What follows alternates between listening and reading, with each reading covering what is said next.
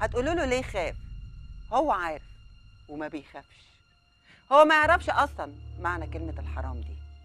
إحنا عايشين في وسط مجتمعات محتاجة تعريف رسمي لكلمة الحرام من أول وجديد. خصوصا إن بيتقال علينا مجتمعات متدينة بطبعها. بس تديننا ده بيظهر في إيه؟ في اللبس. حجم الاهتمام بفساتين الفنانات في مهرجان الجونة يشهد. مين فينا قدر يقاوم ما يشاركش في المهرجان اللي اتعمل على فساتين المهرجان. لو ما شاركتش بالنقد والشتيمة على الأقل شاركت بإنك تدخل تتفرج على النقد والشتيمة.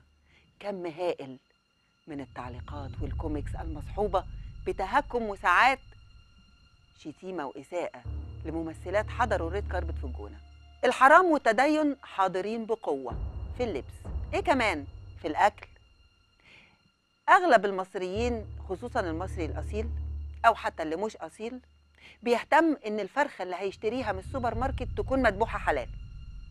طب والفلوس اللي هتشتري بيها الفرخة؟ مش مشكلة بقى تبقى حلال شمال مش قضية. المهم الفرخة تكون حلال. ويمشي فرحان باقناع المجتمع المتدين بطبعه. دورنا نشيل هذا القناع حتى لو بان تحت قبح. محدش يحب يواجهه. وبصفتنا لينا دور. أنا كمنى عراقي إعلامية هعمل حوار صغير مع قناع المجتمع المتدين بطبعه ده. والروح الأصيلة اللي لابسة بعض مننا. منى عراقي الإعلامية هتسأل الروح المصرية اللي لابسة أغلبنا.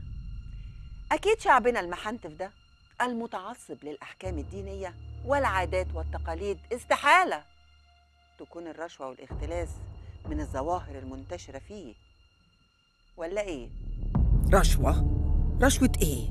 سلام قول من رب الرحيم. بتقولي إيه؟ أيوه أنا قلت كده برضو. أنا بس عايزة أخلص شوية ورق. الموضوع كده سهل وبسيط. أنت بس راضي الراجل بأي حاجة.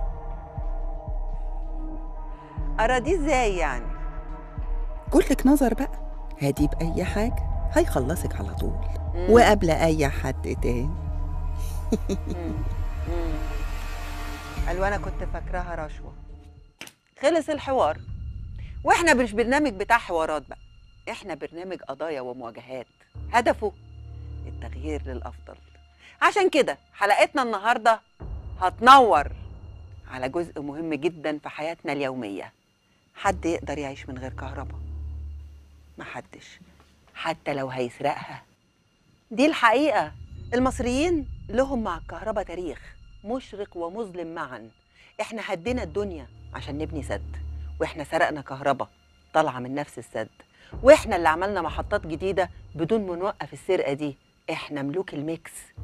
بالأمس القريب كانت مصر بتعيش عصور مظلمة بسبب نقص الوقود وتهالك البنية التحتية للمحطات. ومن قريب تم افتتاح مشاريع عملاقة لإنتاج كهرباء في أماكن كتير الصعيد القاهرة البرولوس ولسه المشاريع شغالة. إيد بتبني من ناحية وألف مليون إيد بيسربوها من ألف ناحية تانية. طب ليه؟ لأنهم ما يعرفوش معنى الحرام ولا السرقة. مستبيحين كل شيء يوفر ولو مليم في جيوبهم. ولأن دورنا إننا نسعى للتغيير للافضل ونساعد في عملية البنى اللي بتتم حاليا. حلقتنا النهارده من جوه أكتر جهة منتشر السرقة منها. يا معالي وزير الكهرباء الحالي الدكتور محمد شاكر إحنا معاك لمواجهة الفساد. عندنا معلومات أكيدة إن معاليك ما بتقبلش التستر على أي مخالفة حتى لو صغيرة. عشان كده اعتبرنا ذراع ليك يساعد وينور معاك للوصول للأفضل. جالنا أكتر من شكوى إن كل حاجة ليها علاقة بالكهرباء ممكن تخلص بالحب. فواتير مديونيات توصيلات مسروقة لو باني مخالف في أي حاجة. بس قبل ما نتأكد من كل ده